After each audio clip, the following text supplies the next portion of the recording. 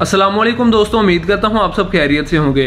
दोस्तों, आज की इस वीडियो में हम बात करने जा रहे हैं दुनिया की मशहूर कार कंपनी होंडा के बारे में।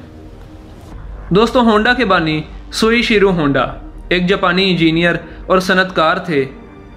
उन्होंने 1948 में अपने ख़ानदान के नाम पर होंडा कंपनी की बुनियाद रखी, जो एक लकड़ी की मैन्युफैक्चरिंग बाईसाइकिल मोटर से बढ़ती, फलती और फूलती एक मल्टीनेशनल कंपनी और मोटरसाइकिल मैन्युफैक्चर बन गई।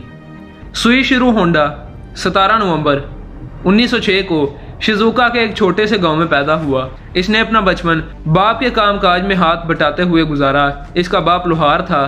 वो अपने बाप के साथ बाइक साइकिलों की मुरम्मत भी करता रहता था।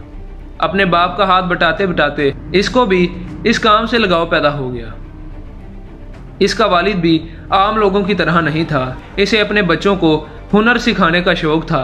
वो अपने बच्चों को खिलौने और मुख्तलिफ़ किस्म के औज़ार बनाने का तरीका सिखाता था।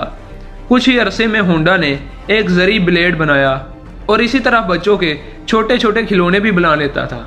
होंडा को किसी तकनीकी करतब और मुजाहरे का पता चलता तो ये वहाँ ज़रूर पहुँचने की कोशिश करता और वहाँ जाकर अपने फ़न का मुजाहरा करता था। पायलट आर्ट स्मिथ ने जहाज़ उड़ाने का कोई मुजाहिरा करना था। इसको मालूम हुआ तो होंडा इसको देखने के लिए पहुँच गया। इस मुजाहिरे ने होंडा की मशीनरी और ईजाद से मोहब्बत को मजीद तकवीत दी।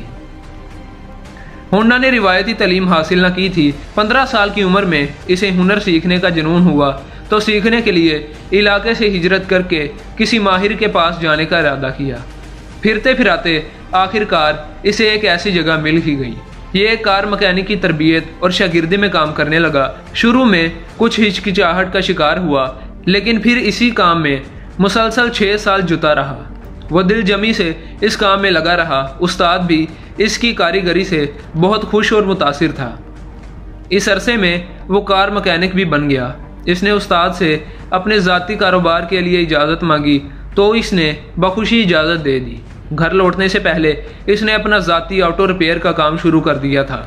इसने मेहनत और दिल लगाकर काम किया। वो अपने काम और गाहकों के साथ मुखलिस था, जिसकी वजह से आए रोज़ इसके गाहकों में इजाफा हो रहा था। इससे होंडा को अच्छी बली आमदनी होने लगी। इसका बाप, जो पहले लोहार का काम करता था और इसके साथ बाईसाइकिल की मुरम्मत भी करता था, वो इस काम को छोड़कर अपने बेटे की मुआवनत करने लगा।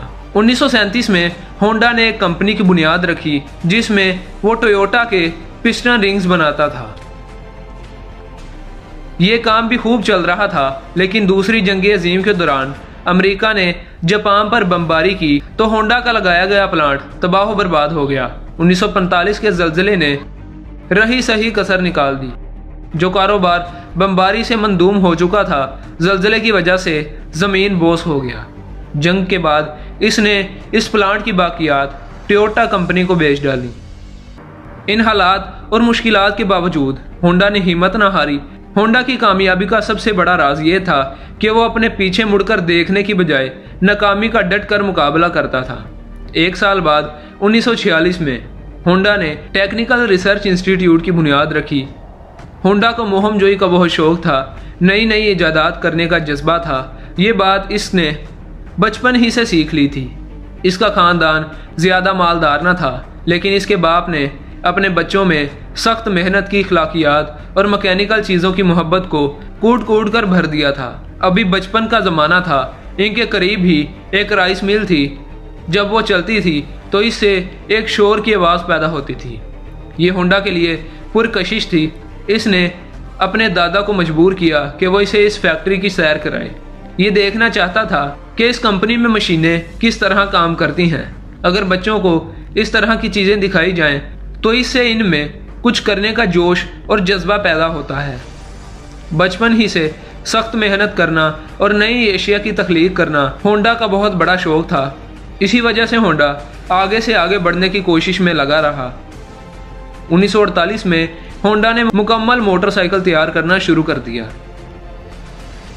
पहले इसने ए टाइप का इंजन बनाया, फिर वक्फे वक्फे बाद इनमें कई तब्दीलियाँ लाता रहा। टाइप ए और टाइप डी मॉडल जापानी ऑटोमेटिव टेक्नोलॉजी की नुमाया इलामत बन गए। रफ्ता रफ्ता इनका काम बढ़ता रहा, इनकी मकबूलियत में इजाफा भी होता रहा। इसकी कंपनी का हजम भी वसी होता गया। होंडा ने अपनी कंपनी को मल्टीनेशनल कंपनी में तब्दील किया, जो दुनिया में बेहतरीन मोटरसाइकिल तैयार करने वाली कंपनी थी। होंडा की इंजीनियरिंग और मार्केटिंग महारतें बहुत जल्द कारआमद साबित हुई कि दुनिया भर में इसकी कंपनी की मोटरसाइकिल की मांग में इजाफा होने लगा। होंडा ने उन्नीस सौ उनचास में अपनी पहली डीलरशिप अमेरिका में खोली। होंडा का एक बायातमाद दोस्त था, जो हर मुश्किल वक्त में इसके काम आता था। जब भी मुश्किल की घड़ी आ पड़ती थी, होंडा इस अपने दोस्त से मशवरा करता था। होंडा मोटर कंपनी कई दफ़ा ऐसी बंद गली में चली जाती थी, लेकिन ये दोस्त होंडा की मदद करता और इसे सहारा देता। दोनों मुल्क का काम करते, इनकी पार्टनरशिप का पहला फल इस तरह हासिल हुआ कि इन्होंने 98 सीसी टू स्ट्रोक मोटरसाइकिल बनाया, जिसका नाम ड्रीम रखा। होंडा कंपनी मोटरसाइकिल से लेकर कार भी बनाने लगी। इसी प्रोडक्ट लाइन के सात कैटेगरीज हैं। इसकी प्रोडक्ट में Honda automobile Honda power sports Honda jet Honda energy equipment Honda marine और होंडा इंजन शामिल हैं। इनकी सक्सेस स्टोरी से मालूम हुआ कि हालात से घबरा कर बैठने की बजाय इनका जवाब मर्दी से मुकाबला किया जाए। तिजारत में रिस्क लेना पड़ता है, यही कामयाबी का जरीना बनती है। अपने बच्चों को तलीम के साथ साथ कोई हुनर भी सिखा दिया जाए तो इनके लिए बेहतर होगा।